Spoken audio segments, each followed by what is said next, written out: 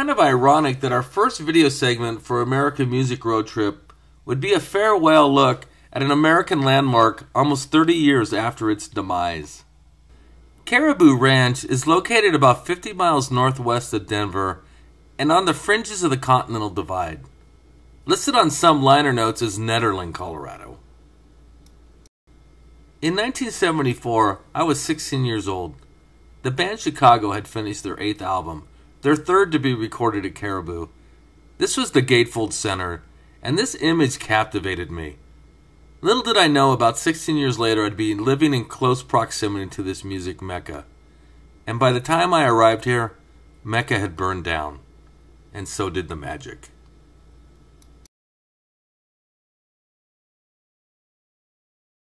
The rock and pop royalty that recorded here was extraordinary. Bands like America, Earth, Wind and Fire, Steely Dan, The Beach Boys, Carole King, Stevie Nicks, John Denver, Frank Zappa, Michael Murphey, Stevie Wonder, Stephen Stills, with Manassas, Dan Fogelberg, Billy Joel, even Emerson Lake and Palmer. Rod Stewart recorded A Night on the Town. Rick Derringer's All American Boy was recorded here. Supertramp's Even in the Quietest Moments. Joe Walsh, The Smoker You Drink, The Player You Get. Even Elton John titled one of his albums Caribou, after spending so much time here in the 70s. Even the king of pop, Michael Jackson, spent time recording and relaxing here. Over 187 artists worked and played here during its decade and a half of existence. Caribou Ranch's creator, producer Jim Guercio, was making music history high in the Rockies. Tragically, in 1985, a fire broke out at Caribou Ranch and ended recording forever. The furnishings and memorabilia from Caribou Ranch are up for sale by Leslie Hindman Auctioneers this week in Denver, Colorado. They have a great website, an online catalog with exquisite details showing each piece available.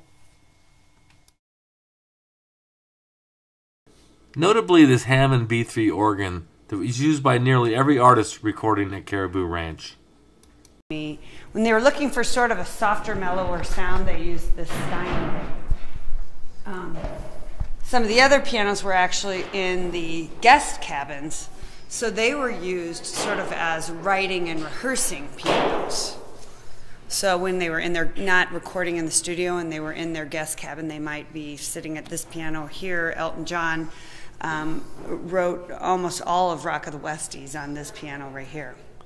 Like the speakers, these playback speakers, um, from what I understand from John Carsello, who was the um, studio manager and ranch manager for many years, 20 years, said these uh, speakers they picked up because of the, the British um, artists who came to record. They liked that sound from the Tannoy speakers. All artwork to the Chicago 3 album. Uh-huh. It's what the what the album cover was based on this. And it was probably manipulated as you can tell, but it was based on this artwork. So this was the bed that was in the presidential. They called it the presidential suite at Caribou Ranch. It was in the Ouray cabin, and um, they called it the presidential suite because this bed was made for Grover Cleveland. So this bed and the dresser were in the presidential suite. So all the primary artists and musicians who stayed at the ranch stayed in the presidential suite. Ouray was probably the pre- premier cabin for visitors. The lodge was bigger and had a lot more guest rooms and lots of taxidermy. And if you wanted to stay and be close to your bandmates and your crew, you might stay in the lodge. Like Billy Joel chose to stay in the lodge at one point when he was visiting because he was closer to his bandmates and his and his um, crew. These sort of signature Chesterfield sofas were all over the ranch, including in the studio. And here, this would be a lot of the things that we would have seen that were in the lodge. So the lodge had um, oh, I think about six or eight guest rooms, and um, and then a big great room downstairs, and that's where the foosball table was, and there was a lot of hanging out in the lodge, I think.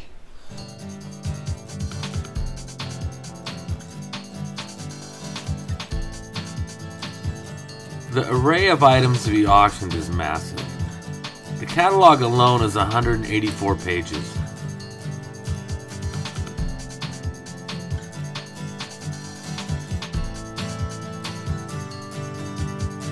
An endless array of classic musical equipment, including this grand piano used by Elton John and Billy Joel. If you want to keep living the Caribou Ranch dream, here's your chance to buy a piece of it.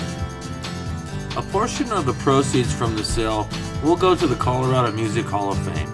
You still have a chance to check out items in person through Saturday at 3 p.m.